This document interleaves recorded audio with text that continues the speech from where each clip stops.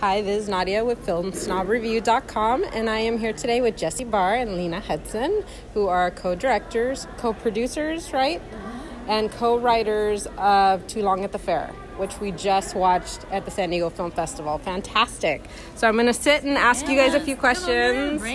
I just want to describe them. They're two lovely ladies um, who have great feminist views. I just want to add that really quick. Yes. So let's start how you guys ended up collaborating together. Yeah. We met in college, um, so we did a lot of theater in New York together. And I guess the impetus for, for this film was we wanted to stay creative collaborators and friends. I was moving to Los Angeles, and Lena lives in New York.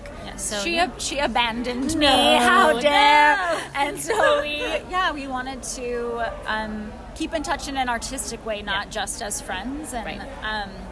And so we we were like let's we're just gonna make something. We're just gonna make something. And we sort of had this I, a very sort of skeleton of, of an idea of a short, and we would we would sort of assign each other scenes. Mm-hmm. We would switch them back and forth and give notes, and then sort of we fleshed it all out like that way, sort of.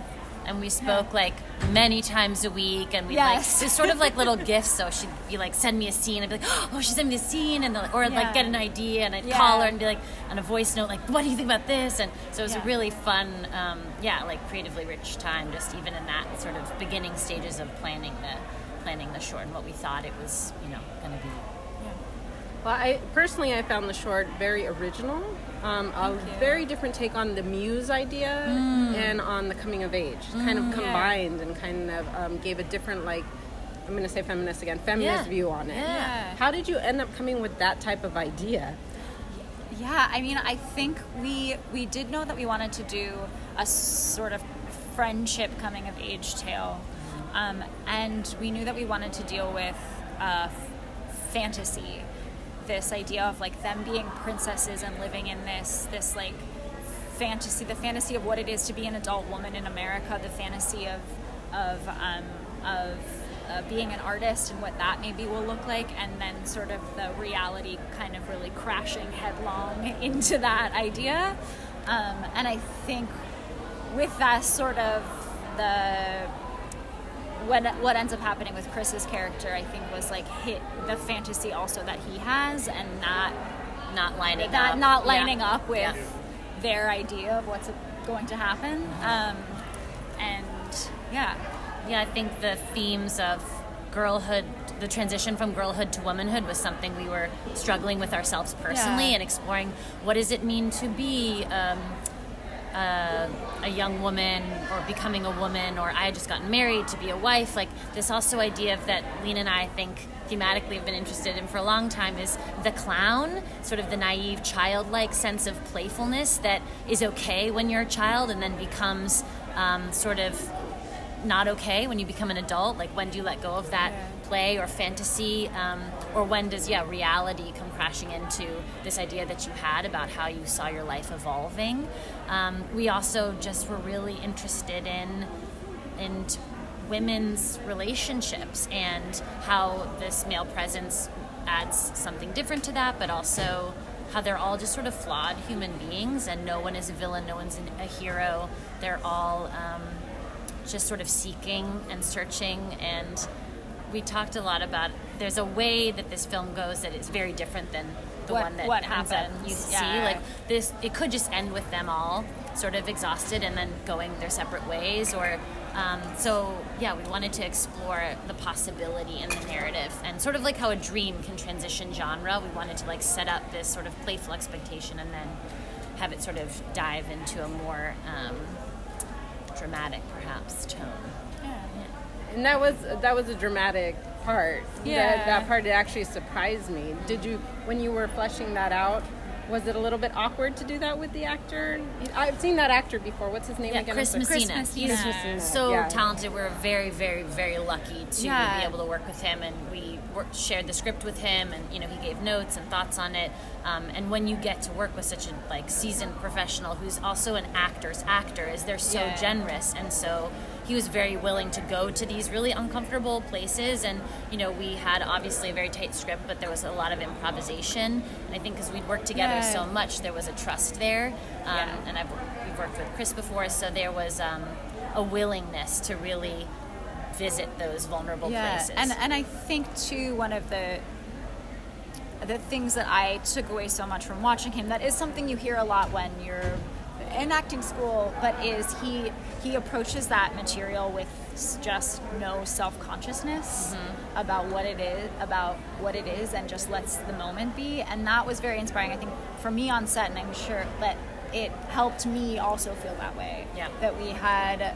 Um, you just like the character wants what they want and you can't apologize for that in a lot Mm. Yeah. of ways you know and i Yeah. think that that um, that sensibility that point of view actually helps helps the film feel more realized And I felt that even in the screening today, like people can plug in in their minds when he pauses before he shares his fantasy. Right. I could feel people like maybe thinking about what their fantasy is, and these really sort of vulnerable and awkward and shameful, dark places that we don't feel um, safe to like say. And in a way, how amazing that they have this really like vulnerable, bizarre, yes, sexual like sharing, you know, and I don't know, I think that's it's interesting. It's interesting to me people saying what they're really feeling, what they're really thinking because I do feel like so much of our way we relate as human beings is with the mask and with performance and this persona. So to dive into this sort of um, really vulnerable, unattractive at times, you Yeah. know, like parts of Right. humanity is interesting. Yeah, I thought it was really interesting with your character Yeah. how she had a crush on him. You could kind of see it was evident. Yeah. And then there was this kind of uncomfortable the situation that came up in their relationship with each other. yeah And then it was where do I go from here? And I feel like that's a, a something women go through a lot, mm-hmm. where Yeah. they, they find themselves attracted to a man, especially an older man, and then they they go into a point where they're maybe slightly uncomfortable because how far am I willing to put myself out of my comfort zone to make him happy? yeah How did you feel? yeah How did you I want the character to translate from that?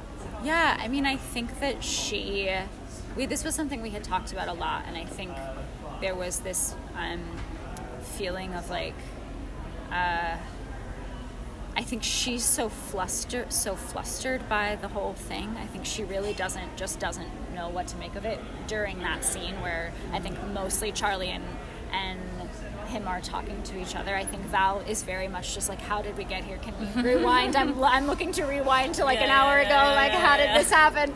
Um, but I think they, that for her, once the decision happens where she says, okay, I'm gonna do this, like, she just says like all right that's that's this day. This day apparently is going this way and i've just i've made this decision and i've made this decision um, for us because we need this because we need this money and this is actually like this actually makes a difference in our lives and um, and i think that there's uh, to me that that is the moment for her of like reckoning um, what it what it means to grow up and what it um, that it count that it matters that like you can you can do a lot of irresponsible things but in the end like some of them are going to catch up with you. And i think for her doing that is like that's the breaking point of that moment in her life is like the things that you do um, they they can they count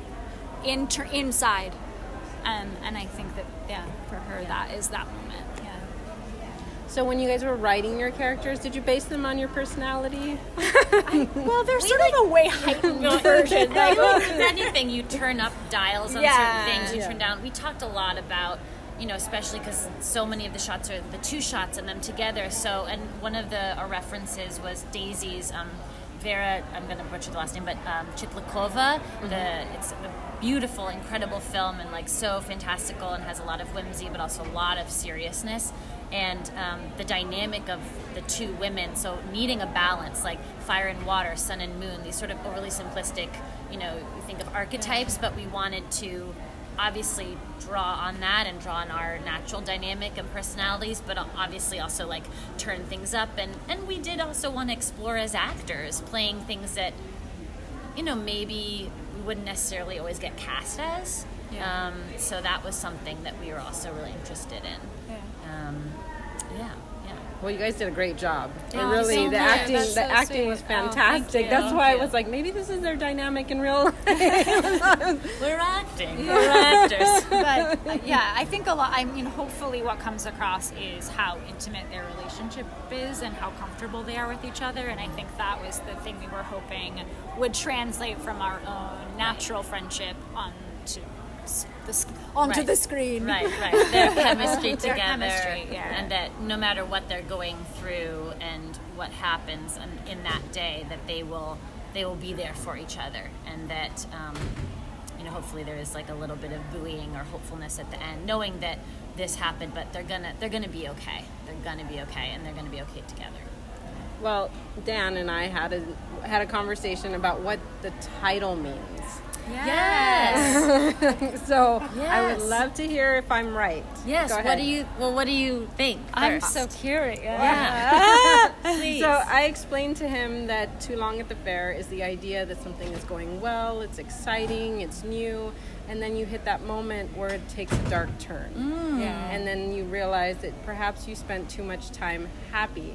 Kind of Pinocchio-ish. Oh, Yeah. interesting. Yeah. I mean, I think that definitely applies. We got the title from a Joan Didion short story.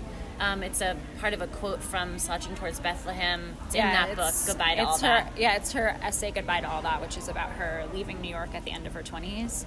Um, So that and- transition exactly. yeah, of girl into and she, um, she, yeah, it is. It's a reference where she's talking about Realizing realizing that you it's can spend too long at, the, fair. like, Um, and that things do count, and your decisions and your choices. Um, yeah, as Lena, as you put, Yeah. can catch up with you, and that it does matter. You know how you how you live your life and the choices you make. and I th- we felt you know I think sort of like we had read that and let that influence the the film just sort of while we were writing it Mm-hmm. and um, and I think the the fact that it sort of aligns with the princess Yes, dynamic. Yeah. dynamic Yeah. felt quite right which is why we felt like that Right. was the right Perfect the title. right phrase the title It was. It fit really well, especially with the princess get-ups. that was really fun to we had a lot of fun flounce around helping, in helping those yeah and directing in dresses. It was it sort of felt um, almost rebellious because we were in these very hyper feminine ensembles, and then we were lugging, literally lugging lugging gear and, like, around you know, like- and yeah, I don't know. I just I felt really that was really Yeah. satisfying because it felt sort of yeah, I don't know, like transgressive in a weird way. Yeah. And that there is like I think so often that kind of uh, stereotypical, I guess maybe that's not the right word, but uh, femininity isn't seen as like powerful or like it can be the boss. And so it felt, it did feel very fun and kind of exciting to like be in that space where you're where you're like very girly on the outside but you are also the boss of this operation Right, like, you're And taken seriously like, even in that insane even when I'm wearing like floofy sleeves Right, and right, like have bra- have Heidi braids. Right, like, right. Oh my yeah. God, So yeah. yeah. So I know you've answered this question several times because I've seen several people ask you, but where do we go from here? Oh Yes. yes. Well, we are in our festival run still. This has been an amazing experience, but uh, we may be screening at a few other places, and then we're sort of going to figure out what the online release will be for this film. And then Lena and I are working on adapting this idea and scenario and these characters as part of um, a potential series. So, cutting something for a pilot and, and sort of fleshing out the idea of um, that we that we you know Yeah. discovered in the short. Yeah. And um, we have a another feature idea. We'll talk about it since it's still very new. Mm-hmm. very embryonic. But, um, Yeah. yeah. but we're we have an idea for a new a next new thing. Yes. Yeah. Do you have websites where people can follow you? Yeah, we Sure, do. Yes, Uh, we have a one for the film. That's to it's T L A T F movie dot com. Yes. and I have a website lenahudson.com.